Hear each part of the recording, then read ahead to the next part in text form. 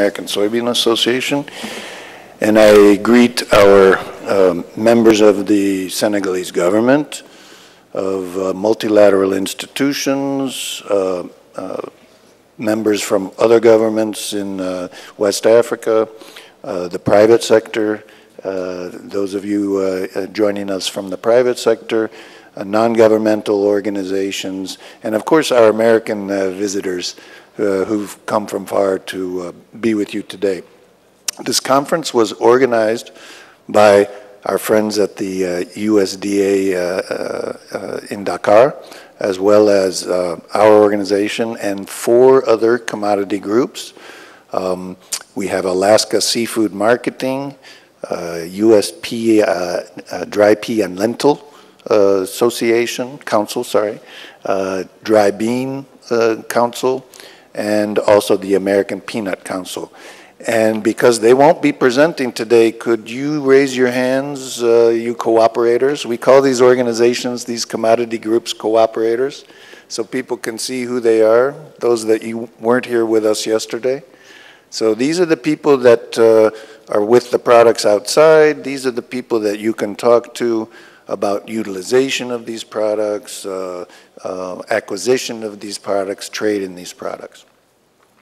Um, this is, as I think uh, Joshua mentioned uh, in French, uh, uh, the, the Trade, Food Technology, and Nutrition Conference. Um, we appreciate our uh, relationship with the USDA. our commodity group's relationship with the USDA is one of the oldest public-private partnerships uh, uh, in the, uh, the states and around the world where our commodity groups work with offices like Dakar, Accra, uh, Lagos, Pretoria, all represented here today. Could you raise your hands, uh, FAS people, uh, you know, from from around Africa again, so that people who weren't here yesterday can identify our collaborators and our our friends uh, in this public-private partnership. Uh, the Senegalese hospitality, uh, but we have also people from organizations and businesses from the Cote d'Ivoire, from Ghana, from Nigeria, from Congo-Brazzaville, from Kenya, and from Uganda too. So I hope, uh, you know, this is a small group today. I hope you will take the opportunity to get to know uh, your associates, uh, not only here in Senegal, but uh, in, uh, in other countries. Yesterday, yesterday was about trade. Yesterday was about uh, buying and selling and developing products and understanding tariffs and, uh, and taxes, and above all, looking at consumers, understanding consumers because at the end of the day, trade is putting buyer and seller together with a value proposition. But towards the end of the day, I think it was quite right and uh, uh, very important that the theme of food security became, came forward. And um, I'd like to uh, uh, dive into that just briefly here a minute. Um, the U.S. government has, uh, since last year, launched a, a global food security strategy. And I think it's very important to remember uh, there's certain factors in food security. There's availability. Some people call it access. There's affordability of the food. You know, the food can be available, but if you can't afford it, uh, it's not going to be very useful to you as a consumer. Um, the Global uh, Food Security Strategy calls the next thing utilization. So utilization, how's the food used? How's it cooked? What quality is it? Is it safe? Um, and very important to us, very important to us uh, is underutilization, is the acceptability. Is the food tasty? You know, uh, people don't want to eat something that doesn't taste good. And especially if they're paying with their own money, acceptability is very important. And the last thing, the last thing I think, which is a new idea for food security, Josh, and something I think is very important that they bring forward in the strategy is stability. No, stability can mean many things. In my mind, what they're talking about stability is relating back to access. Is it there? Is there stability of supply? Is there hopefully some kind of stability in price? And, and we believe that trade, and especially international trade, we heard a lot yesterday about intra-regional trade, which is very good, very important. Senegalese products going to uh, other Sahelian countries. Nigerian products maybe coming to Senegal. Trade is a way to maintain stability and avoid perhaps some of the fluctuations in uh, price and supply.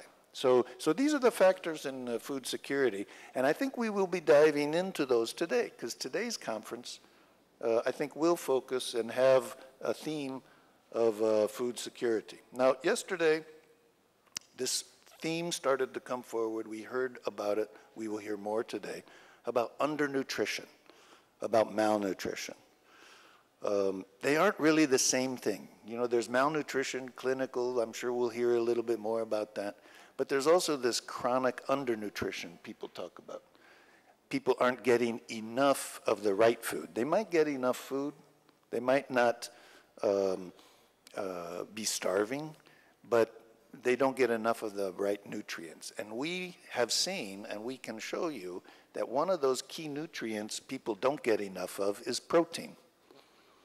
And the protein deficiency in Africa, in Senegal, of course, Senegal is doing a good job. I learned yesterday, Senegal is doing a good job lowering their stunting rate. But uh, they, uh, other countries in Africa, high stunting rates. Um, South Asia, Southeast Asia, you know, many countries, Latin America, many countries face the same problem with the protein deficiency. And, and how do we address that? Now, one idea started to come forward yesterday I think is very important. Most people in the world buy their own food, and that's a good thing. That's a good thing. People trade, people buy their food, and they, they, as they get more money, they spend more money on better food, and that often means more protein but but there will always be some people that can't buy enough food. There will always be people that can't buy enough of the right food. This is true in the United States. This is true in the United States. The United States and the U.S. government uh, run programs run by the USDA. They spend billions of dollars feeding American school kids, feeding women uh, in, uh, who have small children, pregnant women. We have our WIC programs in the United States. We, we address food security in our country, and we have programs that help address food security internationally too. And we're going to hear about some of those uh, a little later. So, so if we accept, if we accept the notion that there are always going to be some people that need assistance, some people that need food, how do we get that to them? the private sector can help. It is not the private, as we said yesterday, it's not the private sector's responsibility to feed everybody. It's not possible. But there are organizations, governments, multilateral organizations, private foundations that can help fill those gaps. And we'll be talking about some of that. But at the end of the day, as we said yesterday, and this is, uh, uh, uh, this is the, the word I'd like to close my remarks with. I learned it yesterday in French. Um, you know, the word is uh, solution durable. It's, it's, it's a sustainable solution to the question of undernutrition. And, and I think in this context, what we're talking about sustainable is can it go on year to year to year, even if the international program that brought the food to begin with ends? How do we see that program continue? How do we see the local uh, uh, uh, efforts, the local organizations, the local private sector um, uh, step up and, and uh, make sure that the food is, okay, there's going to be a test later, accessible, available, affordable, and acceptable. All right, utilizable. I, I like acceptable, but utilizable. No, Nina is absolutely right. If we're sticking with the U.S. government uh, uh, strategy, it's uh, utilizable, right? So, So um, I'd like to close uh, my re- opening remarks. Um, We are a smaller group today. We will try to, to program time into the uh, uh, presentations for questions and answers. The dialogue got very good yesterday. It was good to have uh, two-way dialogue, and I think with this kind of group, uh, we can have uh, some dialogue. I would encourage, I would encourage, as we talk about these things, to keep in mind not only do we have the technical consultants that you are about to hear from now uh, available for private consultations, either in the context of this conference or later this afternoon or even tomorrow, but we also have opportunities and time for private discussions with the other commodity groups that have, that have the products and the know-how and the contacts and the links with our government friends uh, to, uh, to, again, help you find uh, solutions durables, uh, sustainable solutions to, to, to the challenge of making sure there's enough good quality and nutritious food for all the consumers.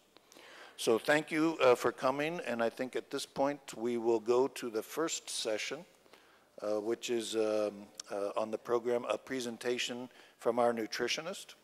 You want to pull up the uh, present, Cade's presentation? We're going to get ready to go. Cade, you all mic'd up? Okay. So I've worked with Cade for many years. Uh, we started first working in Southern Africa on some projects. Uh, Cade is a degreed nutritionist. By the way, I'm not going to read these bios. Uh, you can read them much faster than I. Uh, they're in your packets. Um, but Cade has been working in many countries around the world, especially in Africa. She's got a lot of field experience, and uh, she, uh, uh, she uh, is our protein and nutrition expert. So uh, without further ado, we're going to turn it over to uh, Cade Fields Gardner of